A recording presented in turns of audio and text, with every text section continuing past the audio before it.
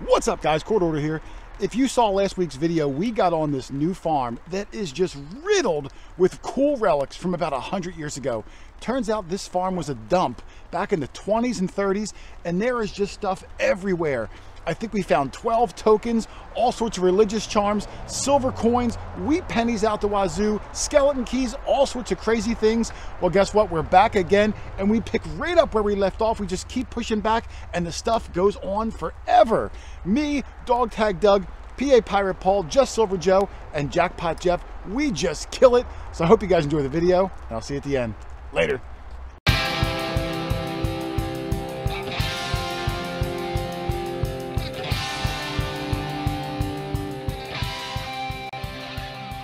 This right here is my hole. I didn't even get it filling it in. I swung up, there was another signal right here. I pulled it out, look at this one. That one's kind of neat. It's another charm and it's like a sun shape. It's cool. And it's got a big has- writing I right thought in I the saw middle. writing. It is right in the middle. L-A-N-D-O-N, Landon. I wonder if that was a uh, pin that went through that one. This might be a pin. I think it says Landon, L-A-N-D-O-N. Hmm. And this is like brass, I think, like thin brass. Yeah, it looks like. That's cool, man. So it turns out this pin is much cooler than I thought. This is actually a campaign pin for the 1936 presidential election. The guy's name was Alf Landon. He was the governor of Kansas, hence the sunflower, because Kansas is the sunflower state. He ran against Franklin Roosevelt for Roosevelt's second term, and Roosevelt was incredibly popular. He pulled us out of the Great Depression. He had the New Deal, which put hundreds of thousands of people to work, created Social Security. It was a landslide loss for poor Alf Landon. Hey, back then there was only 48 states, and poor Alf Landon only won two. He didn't even win his home state of Kansas. Oh man, what a devastating loss. But come on, when you're going up against FDR after he pulled the country out of the depression we were in, man, it's like getting in a street fight with Jesus. You, don't have a shot but an incredible piece, an incredible piece of American history, and an incredible piece of political memorabilia. I love it. It's amazing. So uh, in the bag she goes. Let's go find some more cool stuff. How crazy is this? How many religious medallions is this, Paul? Five? Was this a monastery? This was down about maybe six inches long, and I pulled up and I saw how big it was, and that's a good size one too. And this one's not broken either. Look, you can see the the, the hoop up at the top. That's a nice one. Look, it's a whole giant standing Virgin Mother. It's a giant. Look at this. Look at that. That thing's enormous. Yeah, there's the cross with the uh, M over it. I forget what that stood for. Immaculate Mary. I think that's what it was, Doug. M&M? Not M and M, I and M, or uh, yeah, I. Magic Mike. And it's not even broken. That's crazy. It's a big sucker Nice. too. You did a good job. Yeah. I got three charms already. You have one or two. I think Paul's got one or two. If Doug would get himself a charm, we could call it a day. oh, he did get a spoon. You'll never eat out of that again. oh, nice find for me. I do like it. I'll clean it up later and uh, try to read what it says. Shout out to you. All right, Paul's got something else. Is it another charm, Paul? Yeah, it looks silver, but Oh, what is that? uh, Oh, yeah, I think you're right. I can't tell. Looks like a token or silver. Well, I can't even see what it might be. It it sure looks like it would be a dime. It looked like it'd be like a, A real. Like a real. yeah, but that would be surprising. Go ahead, I'll let you pop it out and we'll take a look. It, I can't. If it's a dime, I can't tell what that back is unless it's just so dirty I can't see it.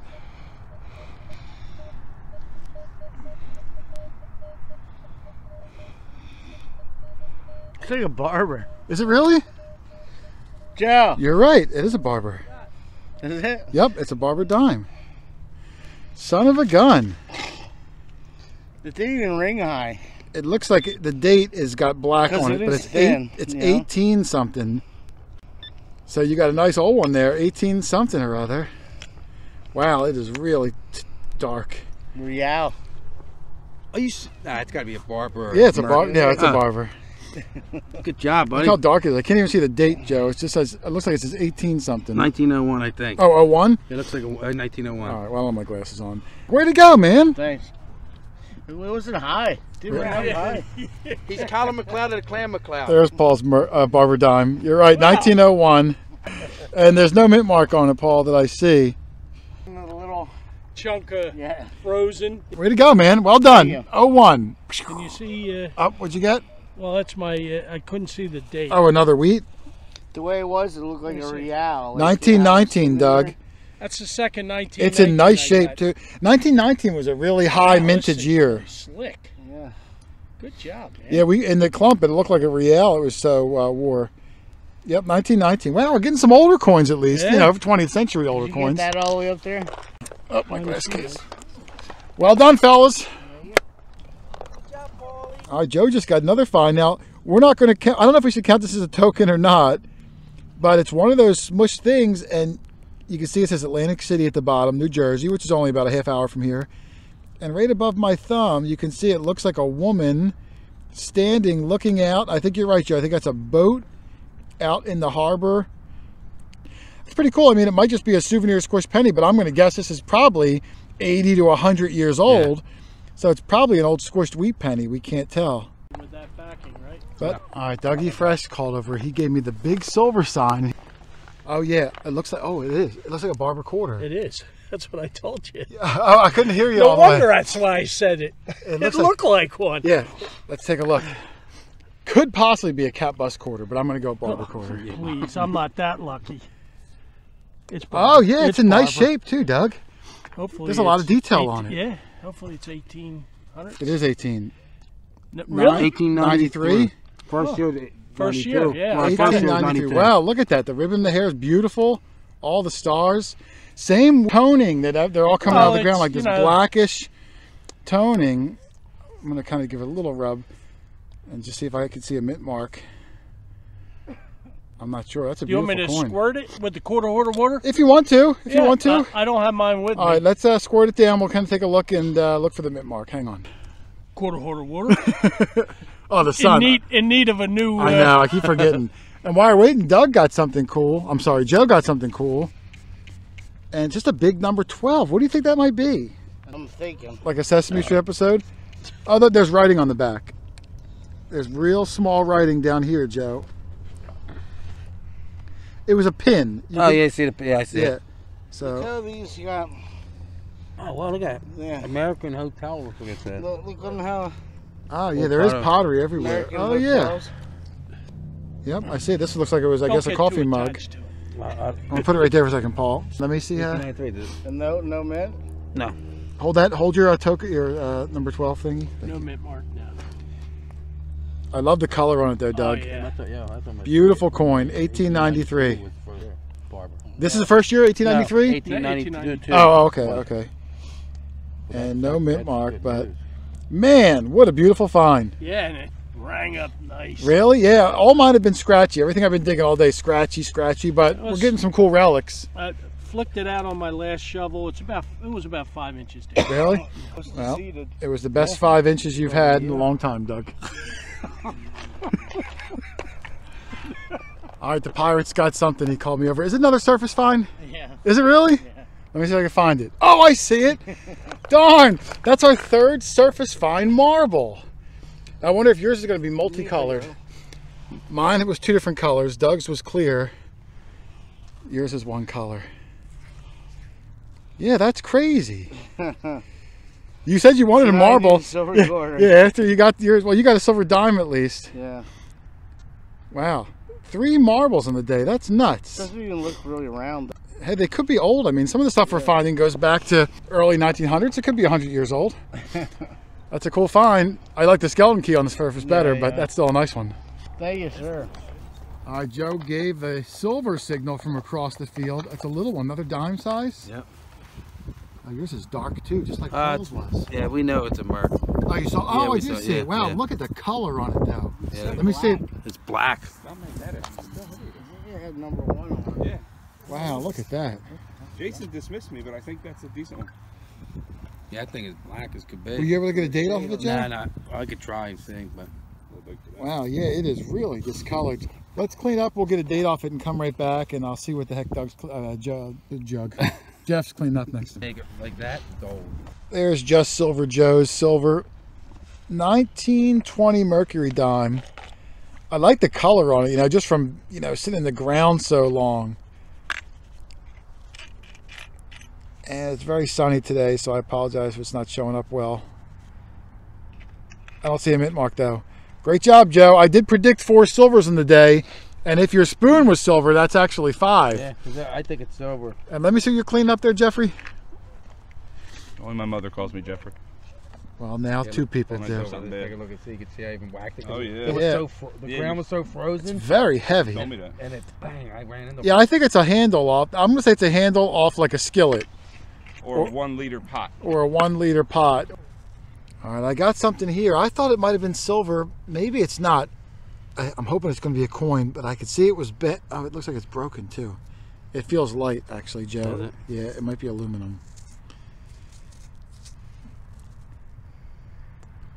Yeah, I thought it was silver because it looked shiny, that Yeah, it little piece sticking out. But I think it's an aluminum token. Looks like. token. Yep, absolutely. And I see some writing coming through on it. All right, let me clean it up and I'll come right back and we'll see what the heck it is. All right, there's my token. I'm actually really excited about this one. It's aluminum, it's in bad shape, but that doesn't matter. At the bottom it says play money, and most play money tokens aren't that good. But if you look up at the top, it says Mazuma, and that is really cool. Mazuma was a company owned by the American Chickle Company from the early 1900s, most famous for the Chiclets bubble gum, the little candy-covered breath mint gums. You know, they still make them today, I think. But in the 1930s, they branched out and started the Mazuma Gum Company.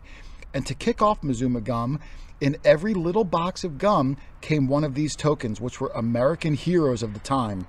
Some of the notable ones were Buffalo Bill and John Paul Jones and Ben Franklin and Robert E. Lee.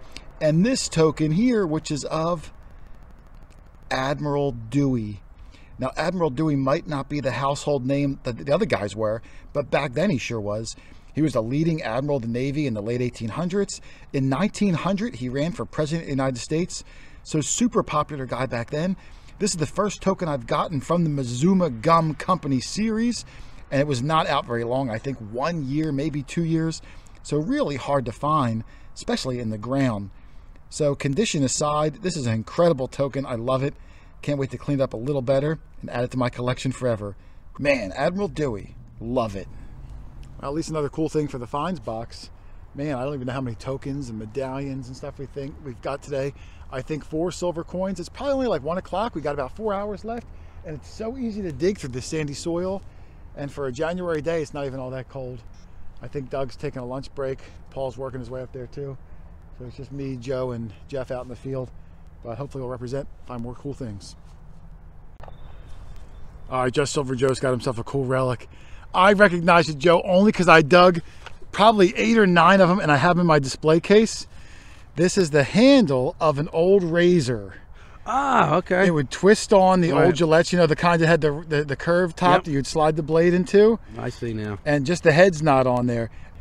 But that's what it is. I only because I have a whole bunch of them, and I think mine even said Bic on it, or Gillette, whatever the, whatever the big company was back then. That's a nice find. Yeah, they would save these because they would just toss those heads Yeah, out and gotcha. save these forever. So, hey, well done, man. It's in good shape. Thank you, buddy. You're welcome.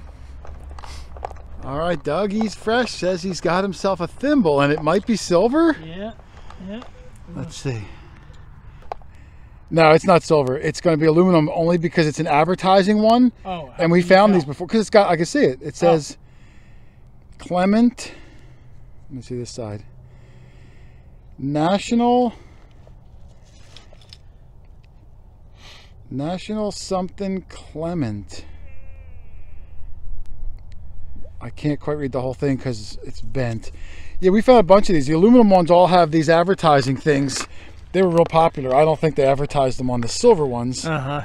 But can you see the band at the bottom? Oh yeah, yeah. Now I do. Yeah, national something clementines maybe through like a those little oranges. Oranges, you yeah. like them, don't you? Oh, I love them. Yeah, I think they're pretty juicy. Uh, this is pretty juicy too, though, Doug. Yeah. Nice find. Yeah. There's all sorts of knickknacks, paddywhacks, and all sorts of just interesting things today. Yeah, yeah. It's nice to get away from the colonial a little. Yeah, I mean, it mixes it up. yeah. You know what I mean? How many King Georges can you have? But you can never have enough advertising thimbles. Oh, Well done, Dougie Fresh. yeah, man. All right, Doug. I had a screamer, which is really nice. A lot of them have been choppy with the aluminum. This one sounded nice and crisp. I went down about four inches of dirt, flung it up, and as I was fishing through with my pinpointer, this popped out. Now it's about the looks like size. copper. Yeah, but I'd be really surprised if it, if it's a copper. Is it completely round? yeah, it's Yes, round It is. and it's thin. Ah, there's a hole in the middle. Chinese copper. Well, you know what I'm thinking? Maybe like a. A washer. No, I, I see writing on it. Maybe You like do? a knob for like a washing machine Oh or yeah, something. I do see the writing. It sure looked like a coin though, Uh, Joe. I'll say. No, I Kinda see like writing this. up here. I found that Oh, before. there's writing on this side Oh. too. I'm gonna clean it up and see what it says. Man, this was the best sounding signal I've had in a long time too, and I thought I might have a quarter or something. But nope, I got this. Dun dun dun. All right, there's the thing that I thought was a coin until I saw the hole come out. It's hard to see. Let me see if I can get it in the shade over here. There we go. Looks like it says Perkes at the top, P E R K E S, and then Phila at the bottom. We're not far from Philadelphia. I think it's the same on both sides. I can see just the Perkes on this side, and maybe a little bit of Philadelphia. I have no idea what it is. I'll look up Perkes when I get home, figure it out. But man, at first glance, I thought it was a big old copper. But might still turn out to be cool. Find out later. Dog tag Doug, Mexican Doug, Jane Fond Doug. Live dig time. live dig Doug. Live dig Doug. Doug's got him. On mine was an 86. On yours, probably like a 30 or so. 29, 30. 29, 30. Wait, where Same numbers that I got for the. Uh, oh, for his quarter. quarter. So he's going to hope it's right on this little ridge where the tractor came down. So we're going to take a look and see. It's like digging on the beach today, isn't it, Oh, Doug? Yeah, now it is. Yeah. It was. It was frozen this morning, but it's starting to. It brutal. It is starting to work its way out. All right, let's see. Oh, it's kicking up all the dust in my face, Oh, but I'm sorry. I'm taking one for the team. All right, that should have gotten it. All right, let's see. Yep. Up, I hear it. I hear it. Through your headphones, I heard it. All right, let's see if it's something good. I hope it isn't that. No, it's not. Oh,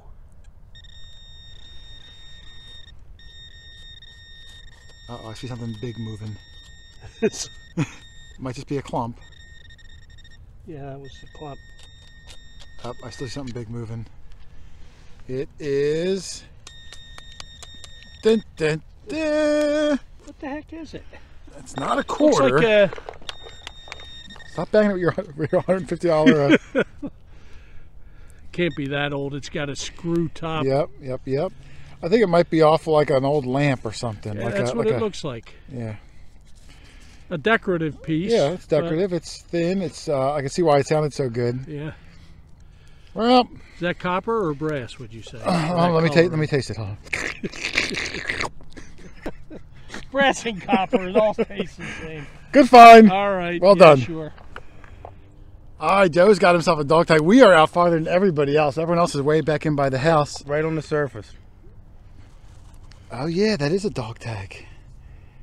Looks like it says 34. Montgomery County, PA. That's weird. Huh. Yeah, Montgomery County, PA. I do see. Yep, 1934. Right above the PA. I mean, it's not too far from here, but Still, it's, yeah, different state. Jersey. Yeah. Yeah, it did get hit by the plow, but those are awesome. Love the dog tags. Doug's gonna be sad that he didn't get it. he did get a barber quarter though, so he can't complain. Beautiful find. Nice job, man. Another find. find. Yeah, it was right. Uh, I only guess with my foot then and it kicked it. Some of the best things on the of the day were on the surface. Crazy. That's an old one too. That's a nice one. What's up, guys? No, no. What's up, guys?